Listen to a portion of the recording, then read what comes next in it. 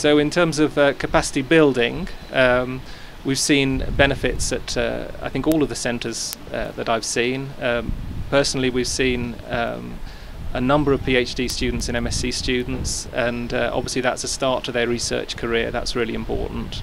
Uh, the challenge program has also set up uh, training courses. So one course that was particularly important, uh, one, uh, an Embrapa colleague, Soraya Bertioli, went on, and that was to do with phenotyping for drought. And that's a that's a tricky thing to do, and that was really important in terms of getting the research at um, at Embrapa set up for phenotyping our populations and um, and uh, discovering um, what uh, could, could, be contributed and what were the limitations in a rigorous way. That was very important. That was uh, arranged. Uh, that was done in France, in um, in Montpellier, in CIRAD, uh, that training course. I see quite a few things which which I think the, the project is, going, is doing well. One of them is capacity building. I think that's absolutely vital because once people in the different countries are capacitated and are able to you know, to take the work forward, then it becomes sustainable. Because I think it's a different philosophy to giving. You know, nobody's being given anything; they are being taught, and um, and that's a completely different ball game. So I think once you know, the conditions are being given and the knowledge is being given, and we can see there is you know everybody's very keen on it. They're keen on learning. They're keen on taking things forward. Then i think it becomes sustainable. So and i think if the capacity building is is, uh, is one of the key things carries on being done so very early on in 2000 and 2008 in fact um, i did a training in montpellier there was a phenotyping training course uh, and in 2009, I went to ICRISAT um, and I was received by Vincent Vadez for training specifically on peanut.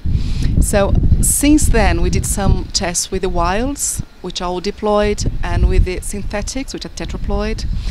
And we can see how the limitations of phenotyping wilds. So we can see now that we need to go for the tetraploid and for the uh, for the for the other tetraploid lines to be able to make some uh, sense of what we're doing. Well, in terms of capacity, capacity building was uh, a major aspect of uh, of the project. So, as I was saying uh, earlier, uh, we had a platform of partners having different background, different skills and everybody was not at the same speed at the beginning. And, and, and I, would say it's still a work in progress. We understand that we work with national programs in uh, in Africa that have uh, suffered uh, a lot of you know the structural adjustment policies and we've got aging people not being fully replaced by young young people and so there's obviously uh, we've made progress, but there's still, I mean, uh, obviously a lot more to uh, to be achieved in in that respect. Yes. The breeders in Senegal involved in the project have, have, have, been trained to use the use of marker technology, and now they can apply this in in the in a in a lab in Senegal based in CERAAS that have um, at least most of the facilities to conduct a basic marker-assisted selection program, and uh, they also have been trained with, with the GCP on, on on the use of, of the tools that are developed as, as part of the IBP. I am a product of the of this project, and I do my PhD in, on this, and I also um, train uh, one one two scientists. The I I I trained the the the, the breeder, the, the, the, breeder of this project on how to use marker on on, on selection, how to to to test their their parent to genotype, and another uh, another guy that working on population development at Senegal.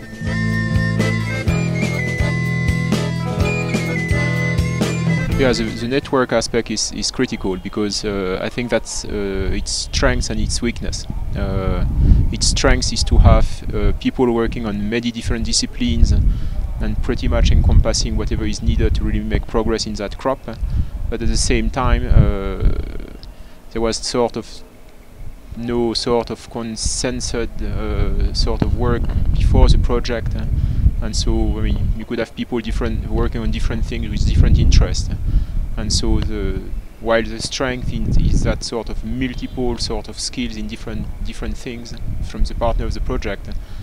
Well, the the the challenge is really to make I mean those people work together toward a common goal. So we find that's very rewarding to be able to be able to start the contribution of the genetic resources uh, and the molecular markers to where it's needed.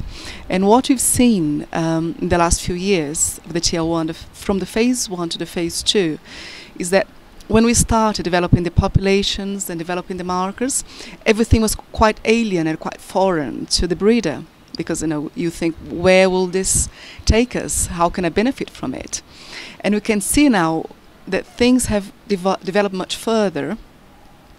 At sitting down and round the same table, we now we speak the same language. We can see the breeder saying, "Well, can I use your markers?"